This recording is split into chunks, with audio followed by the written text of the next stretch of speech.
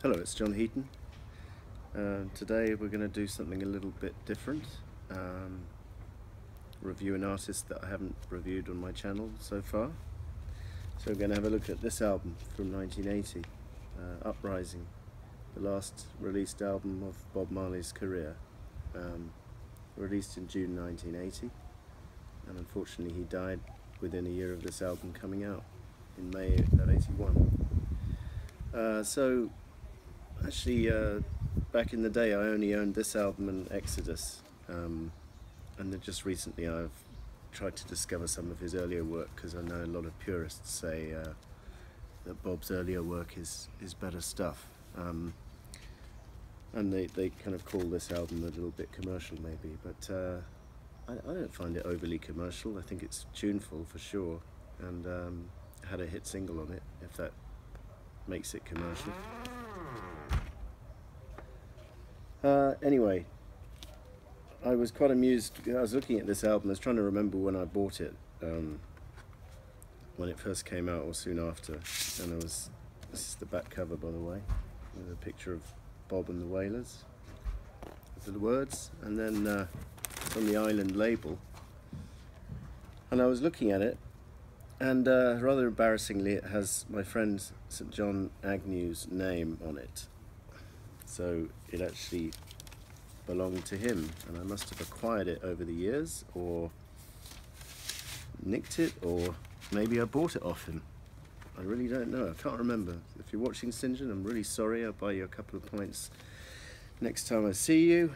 Um, that probably explains why I can't actually recall buying the album. Um, anyway I love this album and uh, brings back memories of the summer of 1980, which was a glorious summer for many, many reasons. Uh, Bjorn Borg's fifth Wimbledon title and the return of John Lennon to the recording studio being the two highlights for me. Uh, so this album opens with great cover, by the way, really nice cover. Um, coming in from the cold. Great band, by the way, on the whole of this album. Um, forget who the drummer is. Carlton Barrett is the drummer very good, and Aston Barrett on bass. Uh, I don't know if they're related, but uh, superb bass playing, particularly on this track, and very uplifting, very relaxing album to play in the summer um, this time of year. Coming in from the cold, nice words. The biggest man you ever did see was a once just a baby, that kind of thing. In this life, we're coming in from the cold. Uh, great opener. And then Real Situation is a kind of catchy track, second up, not bad, nice tune, um, inoffensive, nothing great.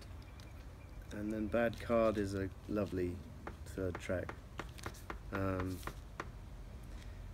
with very amusing words. Uh, I want to disturb my neighbour because I'm feeling so right. I want to turn up my disco, blow them to full watts tonight. And it kind of reminds me of my, uh, when I was in my 20s, I remember looking for flats in London and you know, the estate agent would take you round pr prospective flats and I, I, I was always asking the question, any problems with the neighbours? And of course the estate agent would say, no, no, they're quiet as mice, you know, no problems. But actually what I meant is, uh, would the neighbours have a problem if I were to play loud music? So I don't think the estate agent had heard that kind of uh, question very often. Anyway. Um, so great track. We and Them is next up. Uh, uh, it's not the best, it's probably the worst track on the album. It's not terrible. Um, so I sometimes skip this one. Uh, work closes side one very strongly. Uh, we Jah people can make it work, come together and make it work. Five days to go, working for the next day. Brilliant, I love it. And then side two opens with Zion Train nice relaxed track. Not a standout really, but uh, nice chorus and uh, not a bad opener. Pimper's Paradise is the other little bit weak song on the album. Uh, I tend to skip this one. Uh, but then the next song, Could You Be Loved, was actually a top five single in the UK and uh, very catchy and yeah, maybe it is commercial, but I love it. Very, very uh, nice sentiment behind it and uh, musicianship. Just pause for the plane. Next up is Forever Loving Jah.